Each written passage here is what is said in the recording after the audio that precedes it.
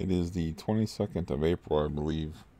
Uh, 2.30 in the morning. I uh, went with the flow and I got sleepy around 8 o'clock. And then woke up at 12.15. And then I read over something that was very upsetting to me. But first, let me pick this up and show you the blank spot over there where the big blue scooter used to be. I managed to get that out of here. And it was funny and not funny because I was worried about getting it through the doorway and maneuvering it around. And because uh, there's so little clearance, and uh, I got through the doorway on the first try. That wasn't the problem. The problem was the distance from my doorway to this fixed to the ground, literally fixed to the ground, can't move it table. Uh, there's not there wasn't enough clearance, so the front part of the scooter is still in the bedroom, and the back part of the scooter is banging against this table that my microwave is sat on. So, um, I'm like, well, it's a pretty obvious solution here. And I just had a hat on my head, so I took the hat off my head and I to protect my hands. And I lifted up the back of the scooter and like scooched it. And uh, of course, lost my balance while I was picking it up. And uh, slammed like ass first into the refrigerator, but it hit my tailbone and shot like a bolt of electricity up my spine. Like what happens when that happens. I seemed to be okay. But I sat there on the ground and I don't I don't think I did too much damage to my feet, but my feet don't talk to me uh, all that clearly, so I'm not sure. Uh, anyways, while I was sitting on the ground, I said, well, I almost got it. I only got like an inch to spare before I can work the back of the scooter around to where it's not bumping into the table, and then I can wheel the scooter out and then out into the living room area. All of which was probably unnecessary because I could have had uh, people help me do it, but I like to do things myself. And um, I had spoke to my brother. My brother said that he had no trouble with uh, me storing it at his place, and then I can learn to ride it at his place once I figure out the acceleration on it. And um, he's got like a suburbs, rich people neighborhood, and people do not park on the side of the road. They all have nice little driveways so I won't be running into any parked cars, maybe a lawn or two if I lose control of it, which is made to go off-road anyway. The guy that owned it before me just ran it around the campgrounds. He never even took it on the road. It was like in pristine shape before I slammed it into a parked car. But anyways, um, I talked to my friend, and my friend asked my friend about moving it, and he was like, "Yeah, I can move it." Uh, get it over to your brother's house. He's like, uh, I, I know this guy that's got like one of those trailers that you uh, put lawnmowers on that you see with, you know, like lawn crews. He's like, you can put it on that trailer and strap it down, so everything's good to go there. And um, that was later in the day. And uh, the middle part of my day was taken up um, by uh, uh, the aid worker. Uh, and I got my medication back with, with my blood thinner, and that went well because I got two refills on it, so I'm good for 90 days on uh, blood thinner. And um, the callback, I think I think that was on my last video there. I was like, ah, they're calling back to yell at me again. That was uh, just setting up a referral. I think I already said that though. I don't know. I'm kind of disoriented because I'm really, really angry right now. Because um, I got a hold of the uh, Stonehenge apartments where I want to move. And it turns out they're racist. But it's poorest. It's poorism. It's not racism. Because uh, it says like, it has like an opening part before you get to the information on the lease. And it says that uh, you have to have provable monthly income that's two and a half times the rent. which means if their cheapest apartment is $570, uh, two and a half times that, I still wouldn't be able to live there if that's a hard and fast rule. Now, this is stupid because I talked to her about leases and um, had a nice conversation with her. Got all the information I thought I needed. Was all positive and happy about it. Even had to call somebody and tell them about it. And they said, "Hey, looks like I'm going to be living. It's a place I want to be living at." And I got further information about it. You know, it's like ideal for me. And um, you know, and now if they stick to that guideline of you have to make two and a half times more of what the rent is to live there, I can't live there. And that's poorism because uh, I don't have any car payments to worry about. I don't live an extravagant lifestyle.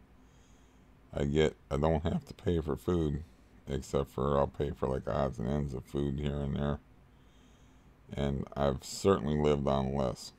Even if I uh yeah, I've certainly lived on less um what you would call disposable income than $400 a month. So that part of it, I don't understand. I don't understand if there's any way around it. I don't. I will talk to the the real estate agent guy that knows more about it. If there's any way that I can still get in there. Right now, after reading that, I'm very very upset because I didn't bother to read the lease because I had like a half an hour conversation with um her name's uh, Valerie uh, Booker, I believe and it seemed like you know they wanted me there and I was good to go and everything.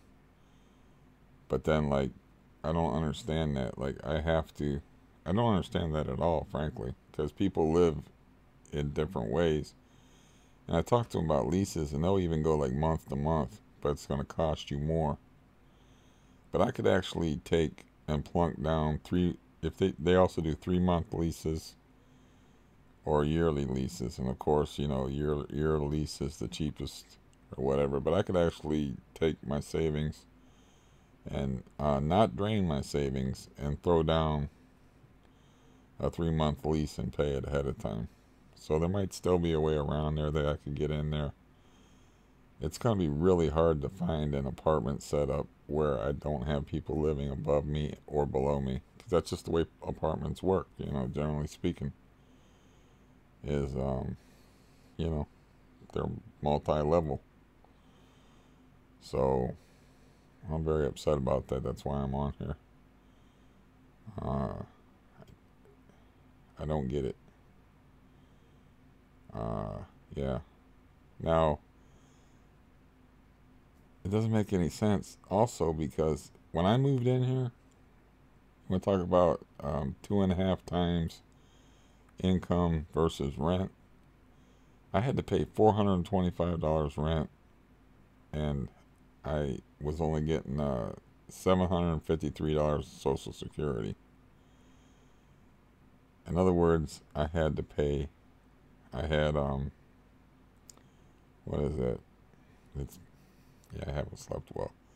That's like $350 that I have to pay everything out of you know, whatever, internet, uh, electric, all my food, because I wasn't getting any food assistance at the time. And I survived and I made my rent.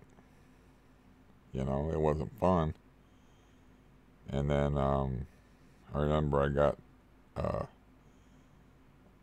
I like, I had a bunch of savings and I went through my savings, you know, because it's just, it, I just didn't have, I didn't have enough money to live on because food's expensive. But I'm I'm getting like a food.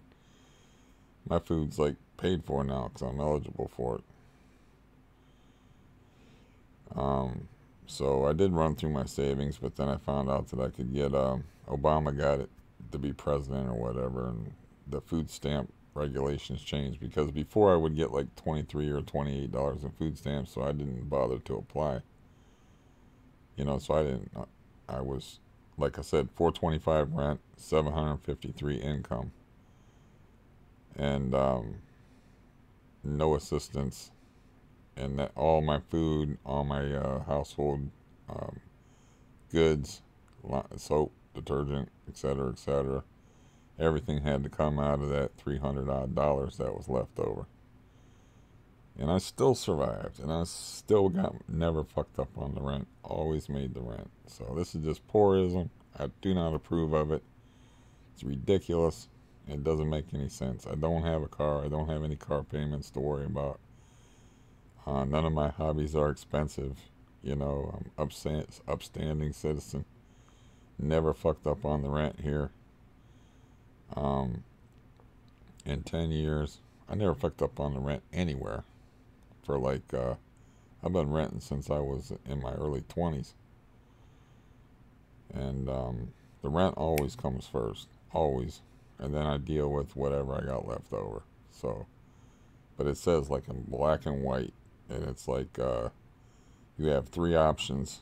It said I, I, would read it to you if I want if I wanted to mess with minimizing the uh, screen and pulling up the document. But the one option was like uh, prove that you have a, a greater amount of income.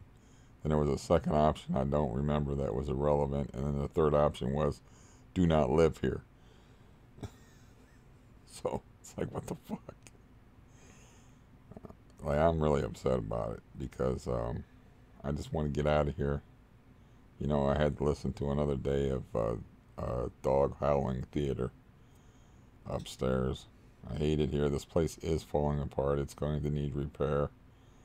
Uh, the roaches have been living in the uh, in the bathroom here lately, and of course I got the uh, poisonous relationship with the landlord. Um, so you know, and they had apartments coming open on May first, and then they have a that's a two bedroom and then they have a one bedroom coming up open on uh, May 17th. They have another um, two bedroom apartment that was open. I didn't ask about studio apartments. Even the I think the apartments start at 570. So if you take 570 and you add it, I would need paper, but that's 1140. And then I still wouldn't I still wouldn't be able to, even their cheapest apartment, according to this stupid rule, I still wouldn't be able to afford. Um, so, very upset about that. I was like, finally, this is ideal for me. You know, there's nothing but woods around there. There's quiet, plenty of greenery. Um, they're gonna make me pay thirty dollars rent for the cat a month and then a non-refundable deposit of $250 for um, having a cat. In other words, if the cat dies in a month, you still don't get your money back. Um, and if you move and the place is still in good condition and your cat didn't claw the shit out of everything, doesn't matter. You don't. It's non-refundable. And then like you got to pay an additional eighteen dollars a month if you don't have rental insurance. And there was a couple other like little tiny fees that they threw in there, but uh, the two bedroom would cost me um, eight hundred and sixty three dollars, and the the one bedroom would cost me like seven hundred fifty dollars. But it doesn't matter with the stupid two and a half times rule. You know, because if it's two and a half times, even if I get the one bedroom, we'll round it down to seven hundred dollars. Uh, that comes out to needing an income that's $500 more than my present income.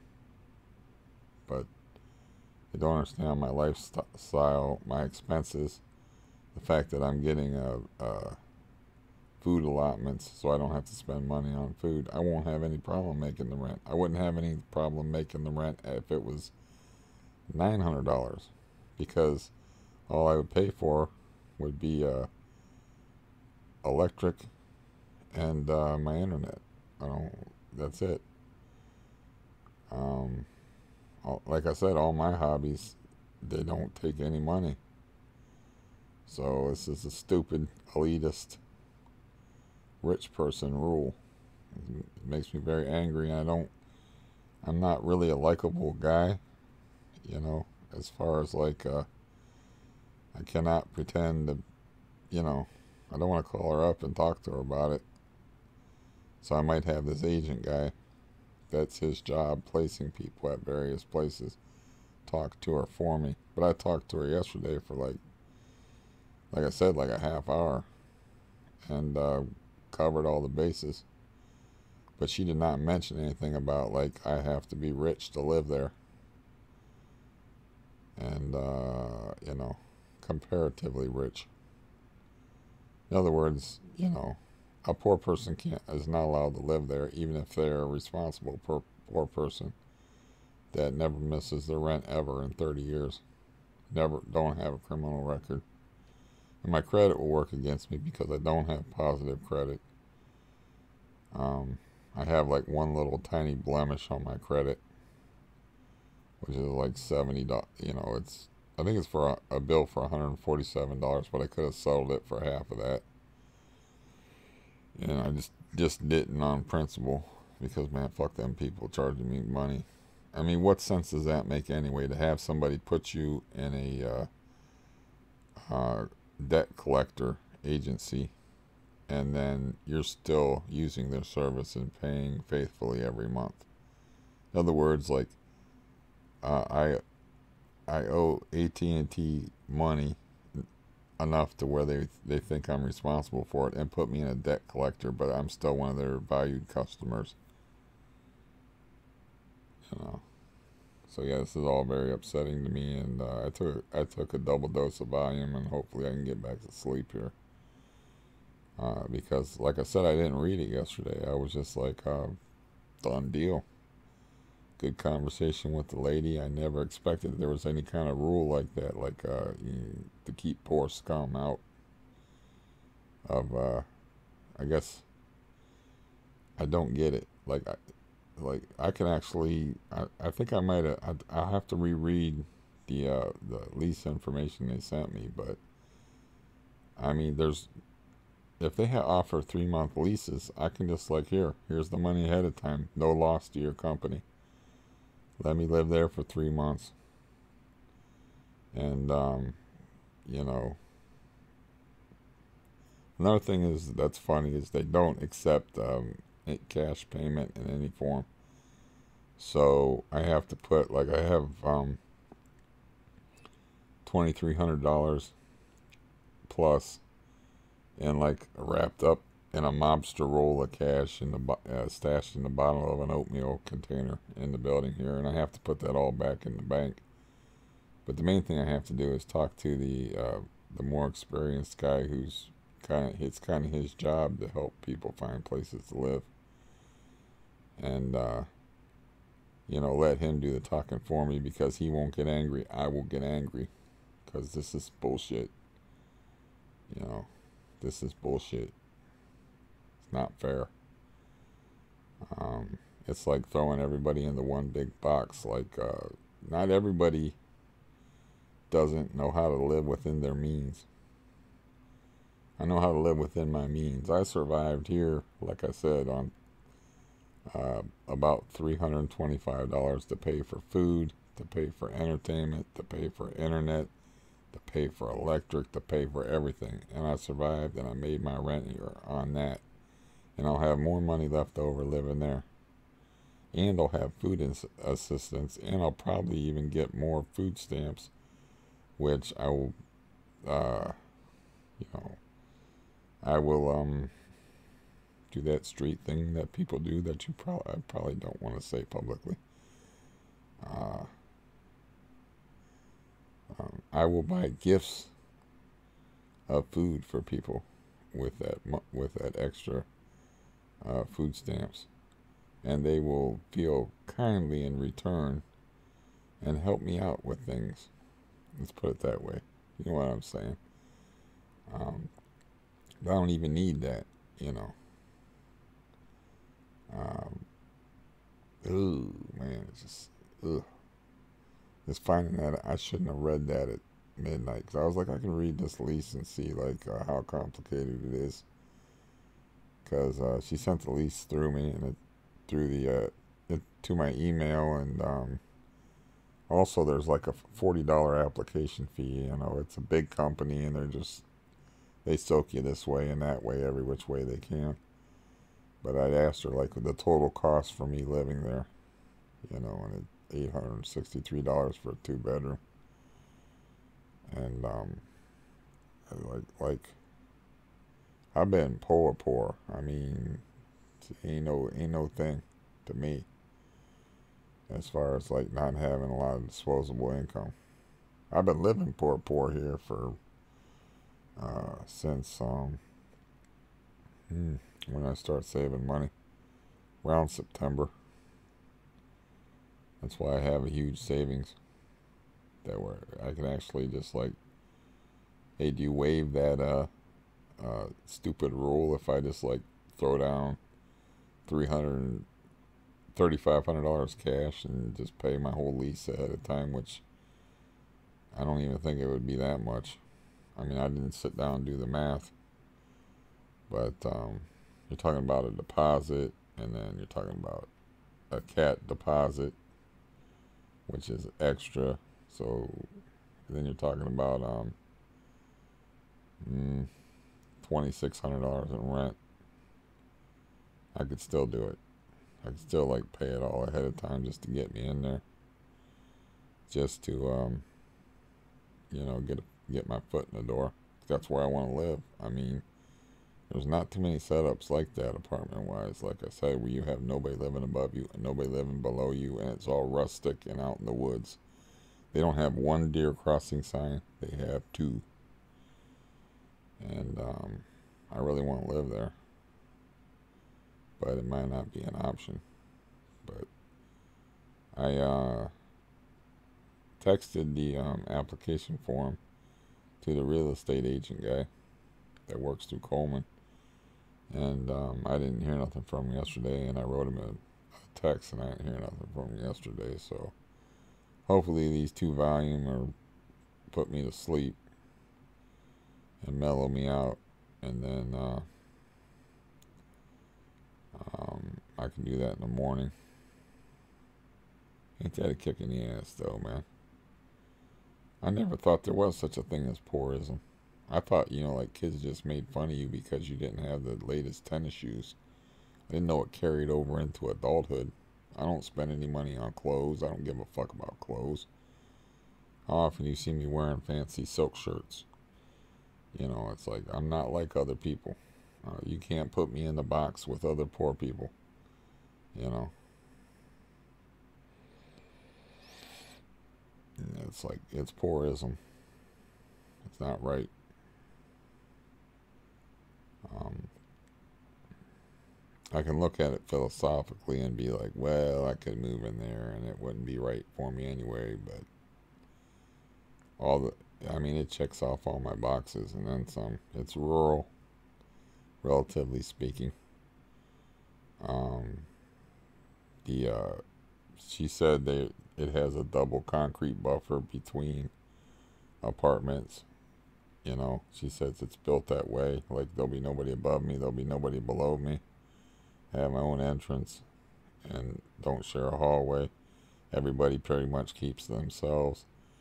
Um, the noise complaints that they do get, and what else would she say, uh, is uh, they have to be pretty extreme because the noise is uh, you know, muffled because it's built for apartments and there's nobody above you, and nobody below you, and then they have a double concrete buffer between, you know, the walls. Um, I'm just making this longer than it has to be, waiting for the Valium to kick in. It's I just never encountered nothing like this, you know, where it's poorism. I'm on disability, damn it. I didn't choose to be poor. Uh, I mean, I fell over ass first into the refrigerator trying to lift up a, sco- a scooter that weighed about 250 pounds yesterday, which I managed to do, even from a sitting position, just jockeying it over. You know, just barely lifting it off the ground and jockeying it over. I'm not your average dude in any way, shape, or form. You can't throw me in a box with uh, people just because I have a certain amount of money. Just the same way as you cannot throw me in a box because I only have a nine and a half grade education. I've taught many, many people who spent uh, fifty to a hundred thousand dollars on college that fact through debate is like you do not want to fuck with me intellectually. You know, it's like, yeah, mm. it's it, it's making me very angry. It's not good for me to be angry. But yeah, yeah. So I, I guess I got to put all that money back in the bank. Since, uh, well, first, I first things first, I got to talk to the uh, Brent guy and see if he can be my mouthpiece and explain my situation. And I'll talk it out with him first because I cannot talk to the, that woman again and, and be all nice and uh, chatty because I'm not a phony guy. I'm not real good at it. I can play nice for a while, but I'm not really good at it, and I, am pissed off. And uh, it's bullshit. This rule is bullshit that I have to, I have to have two time, two point five times the income of of the rent. Like, what kind of fucking rule is that? You know, like I don't have any car payments. I don't have any uh, uh, expensive girlfriends I have to keep happy and buy jewelry for. You know, it's like, ugh.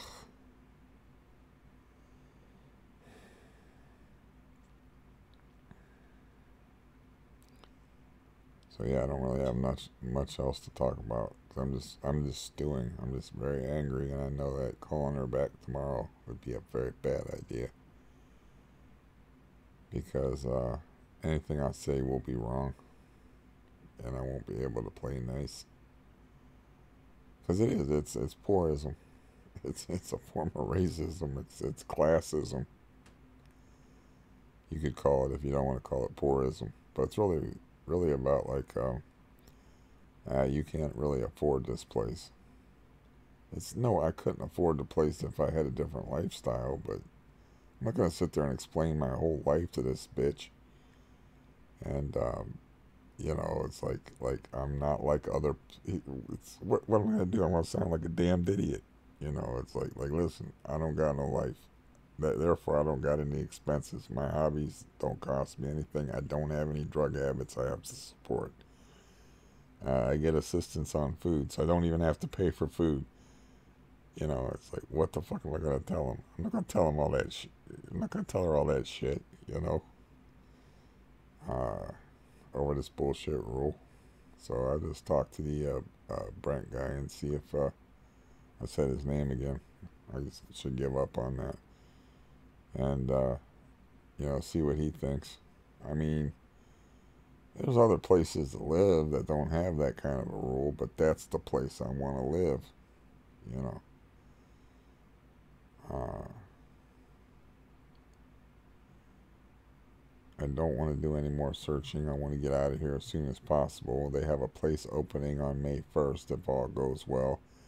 The application part of it, she said, is it's actually uh, it takes no less than a week, or it takes less than a week for that to. They she says they process those applications really quickly. So um, I was thinking like I'll snag that. I said I said I just want to. I told her I just want to snag the first apart available apartment because I went out of here. I explained to her the situation. I said it's not fun listening to a dog howl above you at eight o'clock in the morning. Um. So there'll be, you know, I like the idea of nobody living above me, you know, and she's doing her professional, personable you know, personality type thing. You gotta have like a, you know, you gotta have that professional personality of uh, being pleasant and whatnot. And, um, you know, but she seemed like, uh, well, seemed like everything was green lighted and good to go. She didn't mention, she didn't bother to mention to me that uh, this crazy rule. So in other words, like if you paid a thousand dollars rent, you would have to make at least thirty five hundred dollars to live there.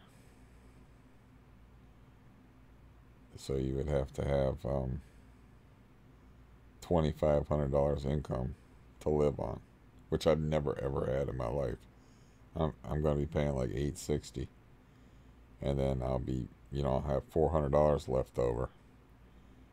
And, um, if, I don't know. It's very upsetting.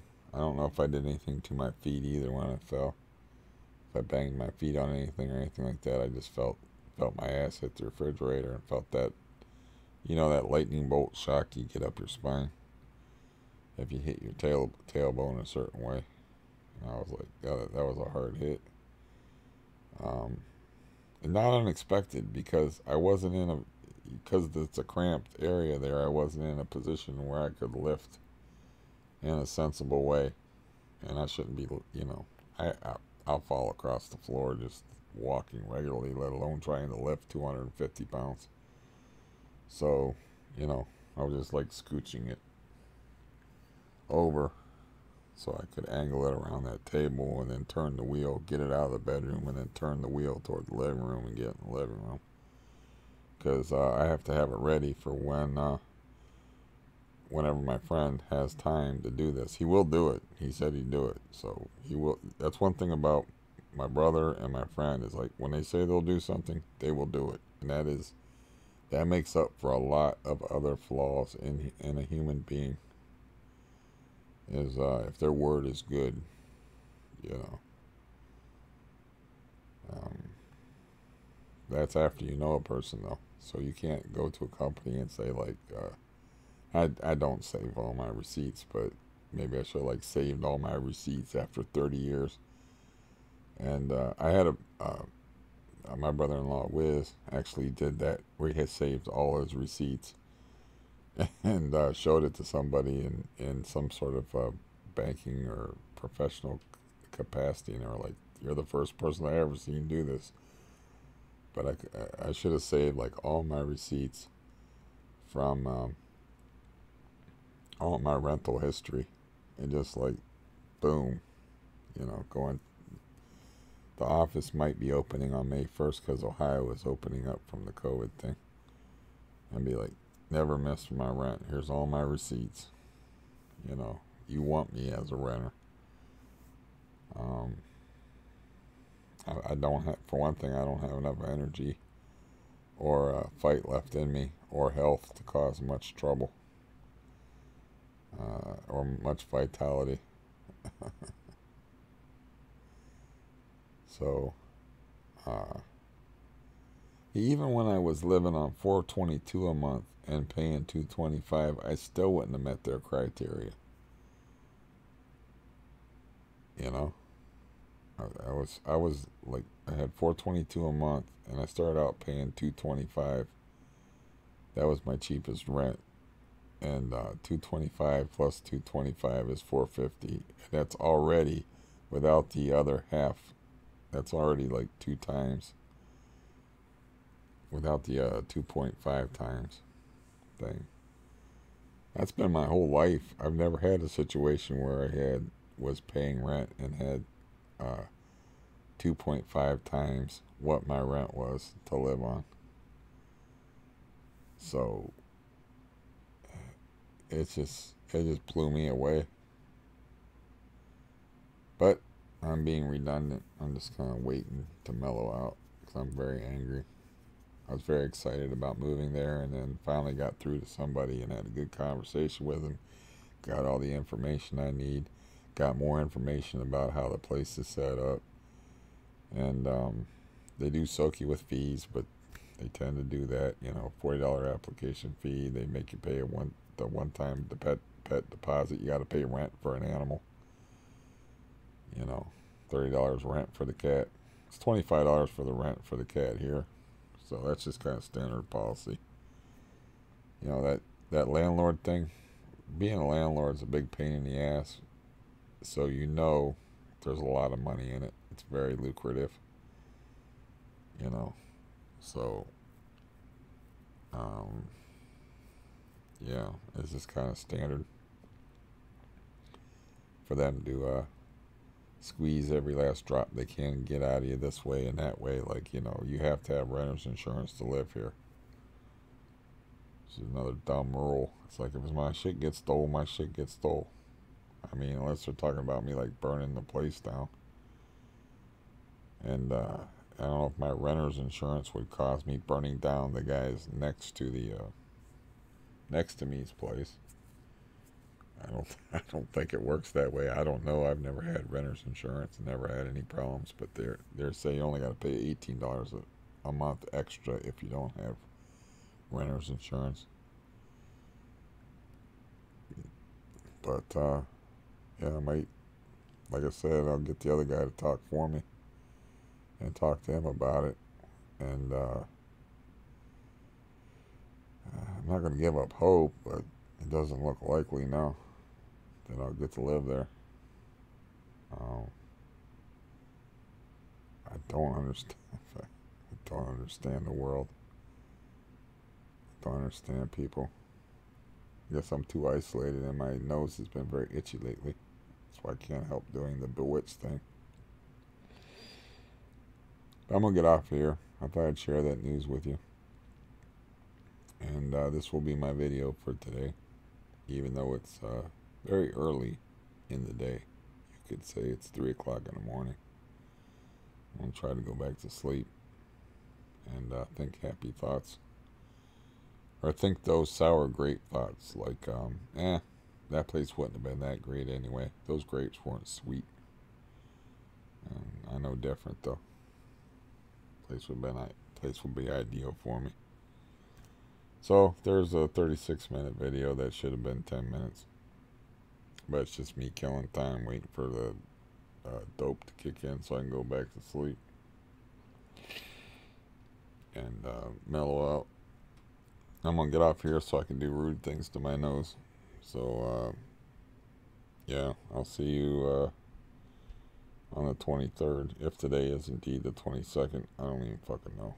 So, uh, hopefully, you do not see this until much later in the day and you've had a good night's sleep if you're in the Eastern time zone of uh, North America.